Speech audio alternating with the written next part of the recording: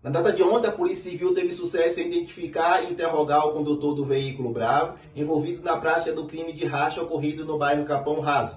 Durante seu interrogatório, o investigado afirmou que conhecia os ocupantes do veículo Jetta, inclusive era amigo bem próximo de um deles e que estava em uma despedida de solteiro momentos antes do acidente. Declarou ainda que não consumiu bebida alcoólica, mas os ocupantes do Jetta estariam alcoolizados e o instigavam a praticar o crime de racha. No entanto, ele não teria participado.